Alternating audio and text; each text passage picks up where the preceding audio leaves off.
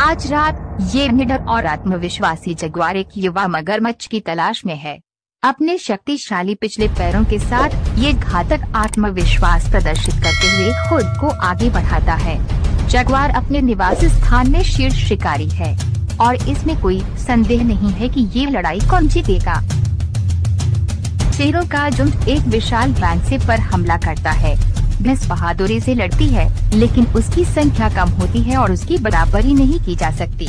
शेर भैंस के मांस को काटते और फाड़ते हैं लेकिन वह हार नहीं मानता। भैंस बुरी तरह घायल हो गई, लेकिन वह भागने में सफल हो गई। एक अकेली भैंस एक शेरों के झुंड से घिरी हुई है। शेर भैंस के करीब जाने की कोशिश कर रहे हैं लेकिन भैंस जागरूक और दृढ़ है। कोई भी शेर पहली चाल नहीं चलना चाहता है। एक गलत चाल और ये एक साहसी शेर के लिए अंत हो सकता है।